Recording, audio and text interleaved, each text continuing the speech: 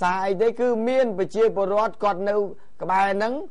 គាត់អត់នាំសារមកទេគាត់នាំពោះថ្លានមកគាត់នាំពោះថ្លានចូលហងមាសអញ្ចឹងបាទនេះពោះថ្លាននេះទូទាំងជននេះទងន់ប្រហែលជាដូចជា30 40 50គីឡូក៏មិនដឹងទេធំហ៎ធំហ៎បាទហើយគាត់ក៏ថា លោកធីនេះជួយប្រាប់លោកអភិរក្សសត្វព្រៃឲ្យមកយកពោះនឹងផងខ្ញុំនឹងយកណាខ្ញុំមានតែសែងមកហងមាសសែងយកមកដាក់ហងមាសទៅហើយដល់ពេលយើងនេះគ្មានកន្លែងណាកន្លែងសន្តិសុខនៅមុខហ្នឹងកន្លែងដេកហ្នឹង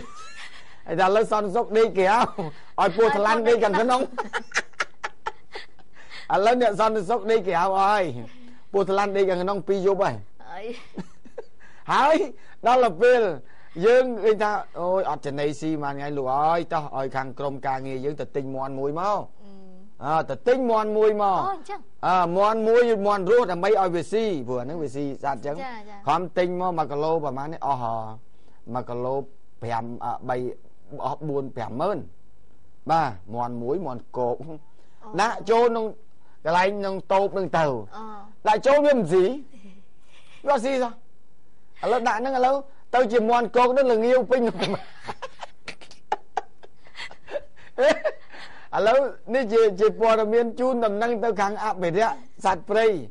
សូមមេត្តាមកយកពោះថ្លាន់ផងពួកប្រជាពលរដ្ឋគាត់សែងមកហងមាសសែងមកដាក់នៅឡៃឥឡូវនឹងពោះថ្លាពោះថ្លាន់នឹងដាក់មន់វាអត់ស៊ីពីរយប់ហើយវាអត់ស៊ីសោះឥឡូវមានន័យថាអូពុះកាន់សិលបានវាអត់ស៊ីឥឡូវនឹងមន់នឹងយើងគិតថាថ្ងៃហ្នឹងវាត្រូវមនុស្សស៊ីវិញ